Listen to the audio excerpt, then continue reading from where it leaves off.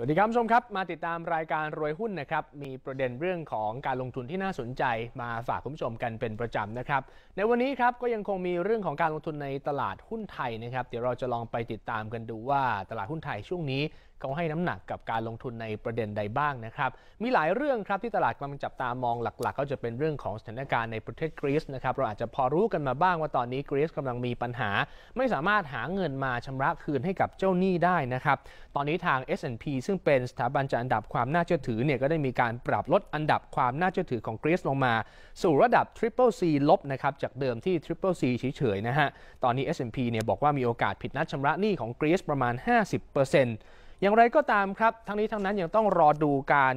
ลงประชามตินะครับของประชาชนชาวกรีซในวันที่ 5 กรกฎาคมนี้ ว่าจะยอมรับเงื่อนไขของเจ้าหนี้หรือเปล่านะครับและจะเป็นบทสรุปครับว่าสุดท้ายแล้วเนี่ยกรีซยังคงได้อยู่ในยูโรโซน หรือว่ากลุ่มประเทศที่ใช้เงินสกุลยูโรได้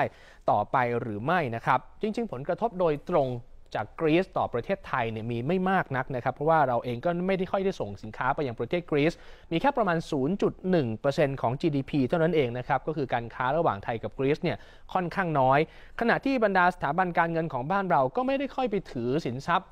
ของฝั่งยุโรปมากนักนะครับน้อยที่สุดในภูมิภาคเอเชียด้วย เพราะฉะนั้นผลกระทบทางตรงเนี่ยคงจะไม่มากนักนะครับ นอกเหนือจากนั้นมีเรื่องของค่างเงินยูโรครับ ตอนนี้เริ่มแข็งค่าขึ้นมา ตัวเลขล่าสุดอยู่ที่ประมาณ 1.12 ยูโรต่อดอลลาร์สหรัฐนะครับ ก็อาจจะบ่งชี้ถึงภาวะความเชื่อมั่นที่มีมากยิ่งขึ้นนะครับในภูมิภาคยุโรป นอกเหนือจากนั้นครับในช่วงที่ผ่านมาก่อนที่จะหมดเดือนมิถุนายน ก็มีแรงจาก Windows Dressing หรือว่าการทำราคาปิดงวดบัญชีนะครับเป็นอีกหนึ่งประเด็นที่คอย หนุนตลาดหุ้นไทยนะครับ ถึงแม้ว่าตอนนี้จะขึ้นเดือนใหม่แล้ว เรื่อง window dressing อาจจะเผาๆลงไปแล้วนะครับ และสุดท้ายครับ ก็จะมีประเด็นเรื่องของหุ้นที่เตรียมจะเข้ามาคิดคำนวณนนะครับใน Set 50 ซึ่งวันนี้ก็จะเป็นวันแรกนะครับที่หุ้นหลาย ๆ ตัวครับถูกนำมาคิดคำนวณในหุ้น 50 ตัวใหญ่ของตลาดหุ้นไทยนะครับไม่ว่าจะเป็นบางกอกแอร์เวย์สนะครับ BMCL คาราบาวกรุ๊ปนะครับ ITD สีสวัสด์นะครับ TPI โพลีนแล้วก็ WHA นะครับที่ถูกนำมาคิดคำนวณ ในดัชนี Set 50 ครับ เพราะฉะนั้นครับ จากปัจจัยแวดล้อมต่างๆนะครับจะส่งผลต่อตลาดหุ้นไทยอย่างไร ช่วงนี้เราจะไปติดตามพร้อมกันผ่านช่วงหุ้นกับบลไอราครับ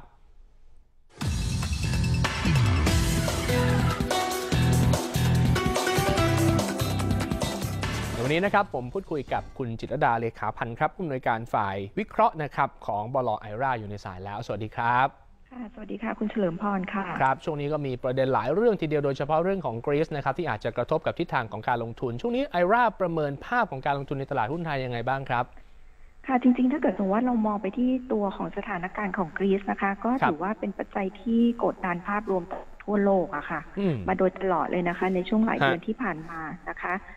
จนถึงการประชุมครั้งสุดท้ายนะคะ เมื่อช่วงสุดสัปดาห์นะคะ ที่กลุ่มเจ้าหนี้เนี่ยถือว่ามีความเด็ดขาดนะคะ ที่ไม่ยอมทำตามเงื่อนไขที่กรีซเสนอมานะคะทำให้การเจรจาต่อรองเนี่ยก็คือต้องจบลงนะคะ แล้วก็ทำให้ทางกรีซเนี่ยต้องผิดนัดชำระนี้กับทางเอฟไปเมื่อวันอังคารที่ผ่านมานะคะ ค่ะขณะเดียวกันนะคะทางกรีซเองนะคะเขาก็มีการดำเนินมาตรการขั้นเด็ดขาดนะคะ ทั้งในเรื่องของการควบคุมเงินทุนนะคะ แล้วก็มีการสั่งธนาคารพาณิชย์นะคะ ปิดทำการเนี่ยไปจนถึงวันจันทร์หน้านะคะตรงนี้เราก็มองว่าน่าจะเป็นการรอให้มีการลงประชามตินะคะในวันอาทิตย์ที่ 5 กรกฎาคมอะค่ะว่าทางประชาชนของประเทศเขาเนี่ยจะยอมรับข้อเรียกร้องของกลุ่มเจ้าหนี้หรือเปล่านะคะ ซึ่งเราก็มองว่าจะเป็นอีกหนึ่งวันค่ะ ที่จะต้องติดตามผลนะคะ แล้วก็คาดว่าน่าจะเป็นการกำหนดทิศทางของประเทศกรีซด้วยนะคะว่าจะทำตามเงื่อนไขของกลุ่มเจ้าหนี้ แล้วก็อยู่ใน EU ต่อไปหรือว่าไม่รับเงื่อนไข แล้วก็ออกจากการเป็นสมาชิก EU นะคะครับแต่เราคงคิดว่าทางกรีซเนี่ยจะต้องพิจารณาอย่างรอบคอบนะคะ เพราะว่าในเดือนนี้ถึงเดือนหน้าเนี่ยกรีซเองนะคะ ก็มีพันธบัตรที่จะต้องครบชำ ครบกำหนดชำระให้กับทาง ECB นะคะ รวมแล้วเนี่ยประมาณ 6,700 ล้านยูโรค่ะ แล้วก็ในประเด็นนี้นะคะ ก็โดยรวมเนี่ยเราถือว่าตลาดบ้านเราเนี่ยน่าจะได้สะท้อนไปบ้างแล้วนะคะ แล้วก็กรณีเลวร้ายสุดเนี่ย ถ้ากรีซจะต้องออกจากทาง EU จริง ๆ นะคะแล้วก็มองว่าการปรับลดลงของตลาดบ้านเราก็อาจจะเป็นไปอย่างจำกัดค่ะ อืมอันนั้นคือประเด็นต่างประเทศในเรื่องของกรีซแล้วปัจจัยในบ้านเราเหรอครับ ช่วงนี้ตลาดให้น้ำหนักในเรื่องไหนครับ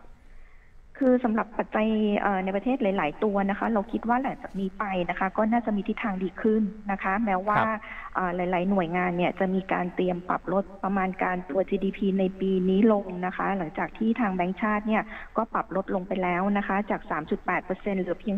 3%นะคะครับแต่เราก็มองว่าตลาดเนี่ยก็ได้สะท้อนไปบ้างแล้วเช่นกันนะคะ ขณะที่เรามีมุมมองที่ดีค่ะ ต่อการใช้จ่ายของภาครัฐนะคะ หลังจากที่แบงก์ชาติเนี่ยก็มีการปรับเพิ่มเป้าหมายการลงทุนของภาครัฐนะคะ ในปีนี้นะคะ ก็คาดว่าน่าจะโตเนี่ยถึง 16.3เปอร์เซ็นต์นะคะครับจากผมเดิมเนี่ยที่เขามองไว้ว่าจะเติบโตเพียง8เปอร์เซ็นต์นะคะและเราก็เริ่มเห็นความชัดเจนบ้างแล้วนะคะ อย่างเช่นในตัวของโครงการก่อสร้างรถไฟทางคู่สองเส้นทางนะคะ มูลค่ารวมเนี่ยอยู่ที่ประมาณ 36,000 ล้านบาทนะคะของครับการผมทางรถเอ่อโทษค่ะของการรถไฟแห่งประเทศไทยนะคะ ซึ่งเขาก็เอ่อมีแผนนะคะที่จะเปิดประมูลในเดือนนี้นะคะ ซึ่งตรงนี้ก็น่าจะส่งผลดีต่อภาพรวมกลุ่มรับเหมาก่อสร้างอยู่นะคะอืม แล้วก็ครับอีกกลุ่มหนึ่งนะคะ ที่เรามีมุมมองที่ดีนะคะ ก็คงจะเป็นในตัวของกลุ่มท่องเที่ยวแล้วก็โรงแรมนะคะ ก็ภายใต้ผลกระทบที่จำกัดนะคะ จากก่อนหน้านี้นะคะ ที่เขาเจอในเรื่องของไอเคโอนะคะ ที่มีการประกาศติดสัญลักษณ์ธงแดงหน้าชื่อประเทศเราเองนะคะครับก็เอ่อกรณีที่มีพบเอ่อผู้ติดเชื้อเมอร์นะคะรายแรกในอืมไทยนะคะ แต่ถือว่าสถานการณ์การท่องเที่ยวของไทยเนี่ย ก็ยังถือว่าปกติ นะคะครับตัวเลขนักท่องเที่ยวครึ่งปีแรกเนี่ยเอ่อมีนักท่องเที่ยวต่างชาติเดินทางเข้ามาไทยนะคะ 14 ล้านคนครับเพิ่มขึ้นเนี่ย21เปอร์เซ็นต์นะคะ แล้วก็คาดว่าทั้งปีนี้นะคะ ก็น่าจะสูงถึง 30 ล้านคนค่ะ อืมครับ ภาพระยะสั้นตลาดหุ้นไทยอาจจะถูกกดดันได้บ้างจากประเด็นเรื่องของกรีซแล้วถ้ามองไปไกลหน่อยอะครับ ระยะกลางถึงระยะยาวเนี่ย ถือว่าตลาดหุ้นไทยยังน่าสนใจอยู่มากน้อยแค่ไหนครับคือเรามองว่ายังเอ่อน่าสนใจอยู่นะคะ แล้วก็เป็นเอ่อกลุ่มที่ยังมีความน่าสนใจ ก็อย่างเช่นที่เรามองอยู่ก็จะเป็นกลุ่มท่องเที่ยวแล้วก็โรงแรมค่ะอืมครับที่เราคาดว่าปัจจัยบวกเนี่ยก็น่าจะมาจากจำนวนจำนวนนักท่องเที่ยวนะคะครับที่คาดว่าในครึ่งปีหลังเนี่ยน่าจะสูงถึง 16 ล้านคนนะคะ แล้วก็ครับอ่าเป็นตัวเลขนะคะ ที่ดีกว่าครึ่งปีแรกที่เรามองว่าอยู่ที่ประมาณ 14 ล้านคนค่ะอ่าฮะกำลังจะมีการประกาศผลประกอบการไตรมาสที่ 2 ด้วยเรามองยังไงบ้างครับเอ่อ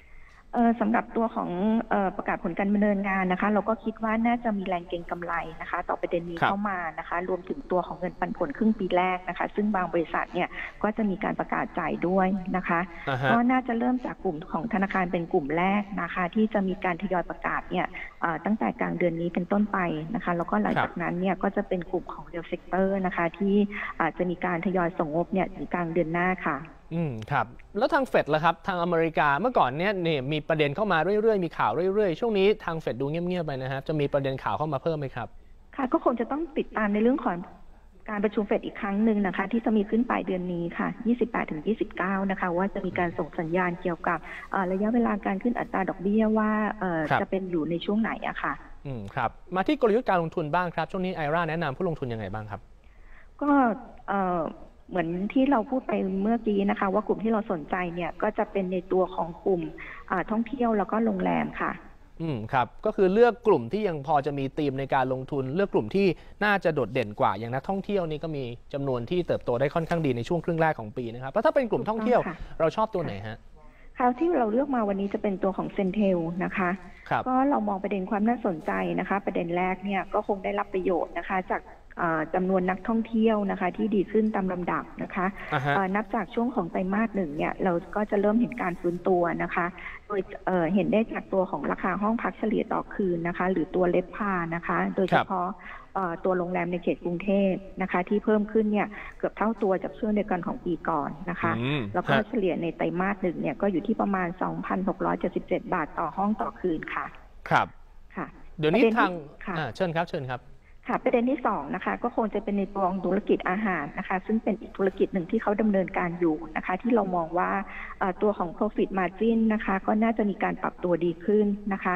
จากแผนของตัว CENTEL ที่จะมีการทยอยปิดร้านอาหาร แล้วก็สาขาที่ไม่คุ้มทุนนะคะครับแล้วก็มองว่าตัว CENTEL เนี่ยยังจะได้รับประโยชน์นะคะ จากตัวของต้นทุนวัตถุดิบนะคะ รวมถึง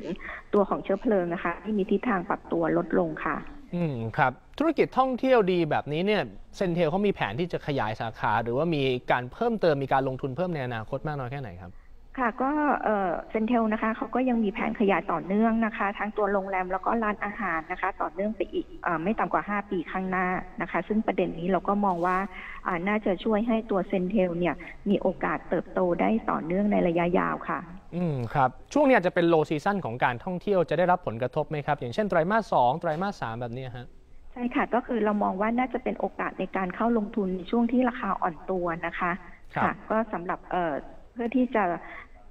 สะท้อนตัวของผลประกอบการในงวดของไตรมาสสี่ที่เป็นช่วงของ high season นะคะ อืมครับ แล้วมีการประเมินราคาเหมาะสมของ CENTEL ไว้ยังไงบ้างครับ ค่ะ เราประเมินไว้ที่ 40 บาทนะคะสำหรับในปีนี้ค่ะ ครับ เป็นการลงทุนระยะกลางจนถึงระยะยาวได้ไหมครับสำหรับตัว CENTEL นี้ ใช่ค่ะ ใช่ค่ะ เราแนะนำให้เป็นระยะกลางหรือระยะระยะยาวค่ะ อืม และการท่องเที่ยวถ้ามองไปไกลหน่อยถึงปีหน้ามันจะยังดีเหมือนปีนี้อยู่ไหมครับ ก็คือเราก็มองว่าหลังจากสถานการณ์ต่างๆเนี่ยมันเริ่มเข้าสู่ภาวะปกตินะคะ ก็มีครัโอบกาสที่จำนวนนักท่องเที่ยวเอ่อที่จะกลับเข้ามาบ้านเราเนี่ยน่าน่าจะยังดีต่อเนื่องได้จนถึงปีหน้าค่ะ อืมครับ แต่เห็นตลาดช่วงแบบนี้ที่มันขึ้นก็ไปได้ไม่มาก แล้วก็ลงมาอาจจะลงได้ไม่ลึกเนี่ยนะครับ บางคนก็พยายามจะต่อราคาหุ้นเซนเทลนี่รอได้ไหมครับ หรือว่าจริง ๆ ซื้อได้เลย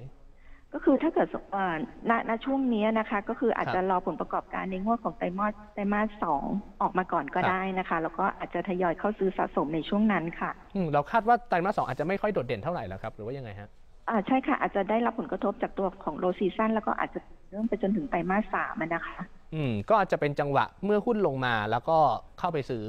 แล้วก็ถูกต้ถืองอค่ะไว้ยาวๆนะครับ ใช่ค่ะครับในช่วงที่เหลือของปีไตรมาสสามไตรมาสสี่ไอราประเมินตลาดหุ้นว่าจะเป็นช่วงที่ดีไหมครับคือเอ่ออย่างณตอนนี้นะคะจริงๆแล้วอะค่ะ ก็คือกับตลาดอาจจะต้องรอประเด็นชี้นำใหม่ ๆเข้ามานะคะอืมครับซึ่งเอ่อที่เราประเมินไว้อะค่ะ ก็คือมันอาจจะเติบโตได้อีกนะคะ ก็คือหลังจากที่ครับมีความชัดเจน โดยเฉพาะในตัวของเออการลงทุนจากภาครัฐนะคะ ที่คาดว่าน่าจะช่วยกระตุ้นตลาดได้ นะคะอืมครับเรามีการเซตทาร์เก็ตของหุ้นไทยปีนี้ไหมไว้ไหมครับ ก็คือที่เราประเมินไว้ก่อนหน้านี้อยู่ที่ 1,620 ค่ะ อ๋อ จริง ๆ อัพไซด์ก็อาจจะพอมีอยู่บ้างแต่ก็ยังไม่ถือว่ามากนะใช่ค่ะ อืม ได้ครับ การลงทุนก็อาจจะติดตามตามเทรนด์นี้ไปก่อนนะครับ วันนี้ขอบพระคุณมากเลยนะครับ ค่ะ ขอบคุณค่ะ สวัสดีค่ะ ครับ ช่วงนี้ฮะ ตลาดหุ้นไทยก็อาจจะยังคงต้องรอปัจจัยใหม่ ๆ นะครับ เข้ามากระตุ้น ให้มีการปรับตัวขึ้นไปมากกว่าที่เป็นอยู่นี้นะครับ เพราะว่าที่ผ่านมาถ้าเราลองย้อนกลับไปดูเนี่ยจะเห็นว่าหุ้นไทยเคลื่อนไหวอยู่ในกรอบขึ้นไปสักประมาณ 1,520 1,540เนี่ยก็จะเจอแรงขายลงมานะครับ ลงมาเหลือสักประมาณ 1,480เนี่ยก็จะมักจะมีแรงซื้อให้หุ้นไทยกลับมาด้วยเช่นกัน ก็เคลื่อนไหวอยู่ในกรอบเนี่แหละครับ1,480 ไปไม่เกิน